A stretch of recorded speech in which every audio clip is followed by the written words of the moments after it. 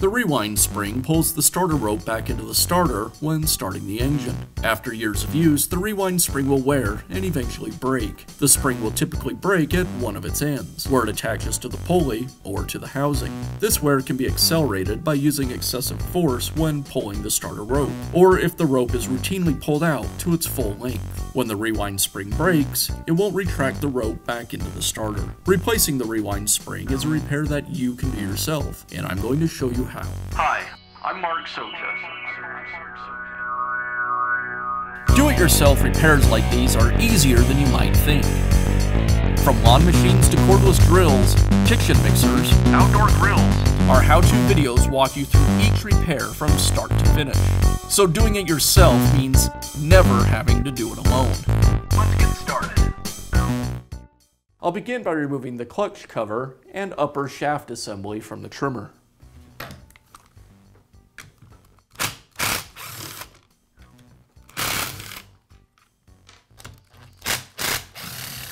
Next, I'll loosen the clamp screw that secures the upper shaft to the housing.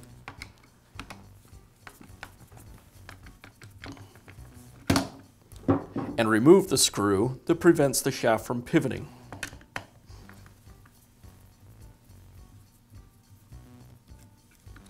I'll also remove the pivot screw from the trigger assembly. And I'll loosen the remaining screws on the trigger assembly.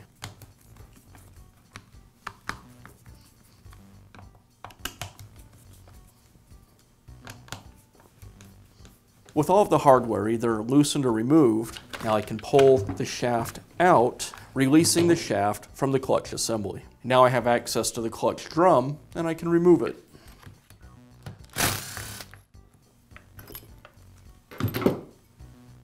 With the clutch drum out of the way, I have access to the clutch. I'll use a wrench to remove it. The problem is, when I try to unscrew the clutch from the shaft, it just rotates the engine over. So I need to do something to bind up the cylinder so the shaft won't spin. I'll start by removing the spark plug. I'll remove the spark plug boot, and then the spark plug.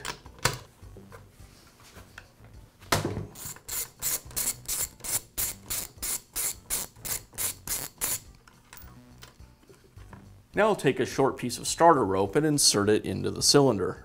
The rope will take up the space between the piston and the top of the combustion chamber. When I rotate the shaft over, the piston will be bound and I can remove the clutch. I'll leave enough of the rope sticking out so I can easily remove it later. And now I can remove the clutch.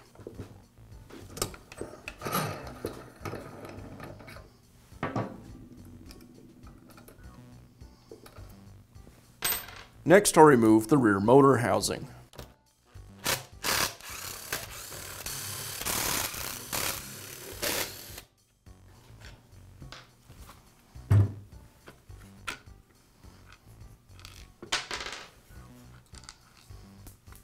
And now I can remove the starter housing.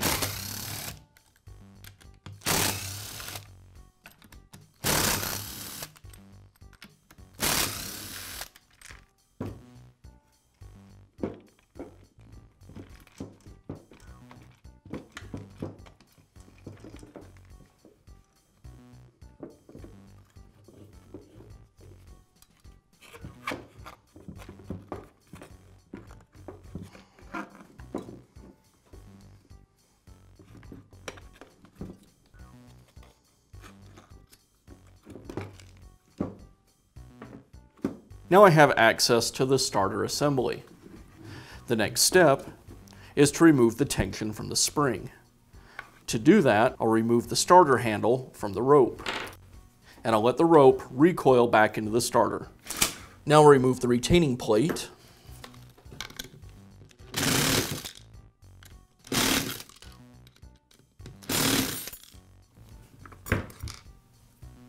To remove the starter pulley, we'll need to cut the retaining ring. This ring will need to be replaced during reassembly.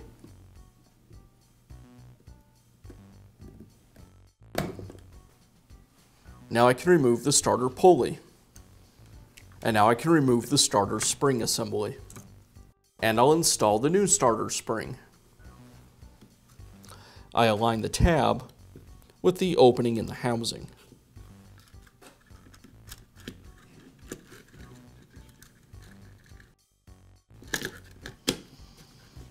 Now I'll remove the starter rope from the pulley.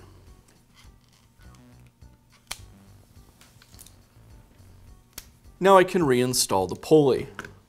I'll align the notch on the back of the pulley with the tab on the spring. And I'll secure the starter pulley with a retaining ring. Now tension the starter spring. I'll rotate the pulley clockwise. Probably about five full turns.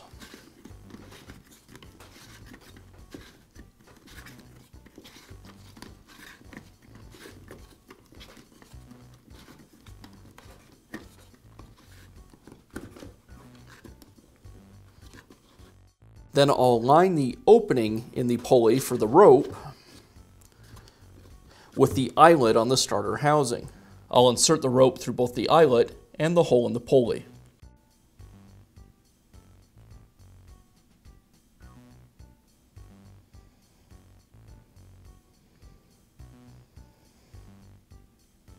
Then I'll use my pliers to pull the rope up through the edge of the pulley. I'll tie off a knot on the end of the rope then pull the knot back into the opening on the starter pulley. I'll tie a temporary knot in the rope so that it doesn't retract back into the starter and I'll reattach the starter handle.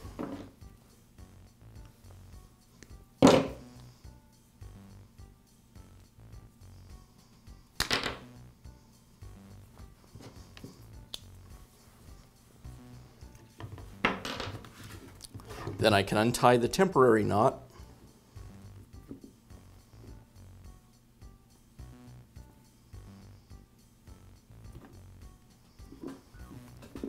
and allow the rope to retract back into the starter.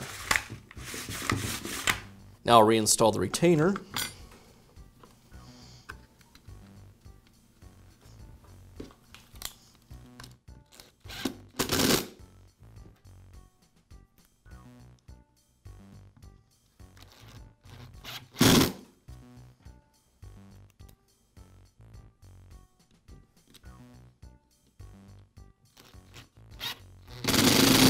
And I can reinstall the starter housing.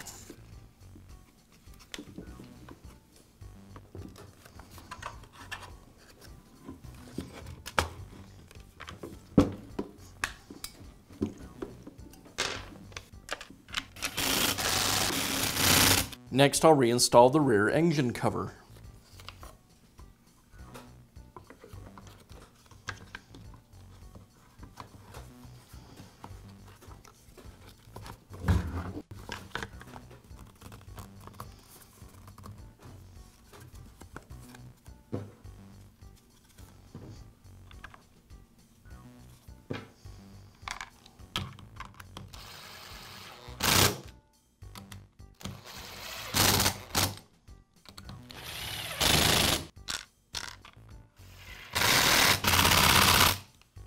Now I can reinstall the clutch.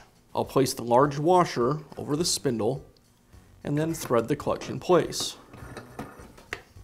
And I'll tighten it up.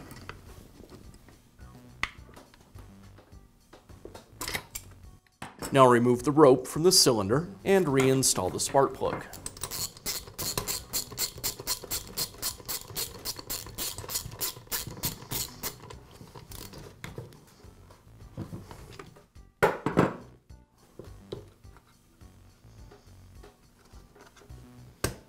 Now reinstall the clutch drum.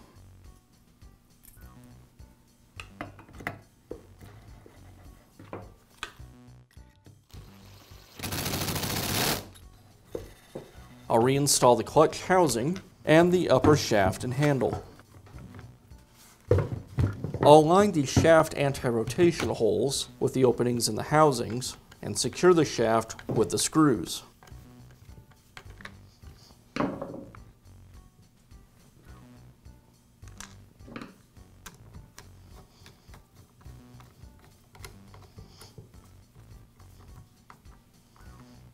Now tighten up the rest of the handle hardware and secure the clutch housing to the engine.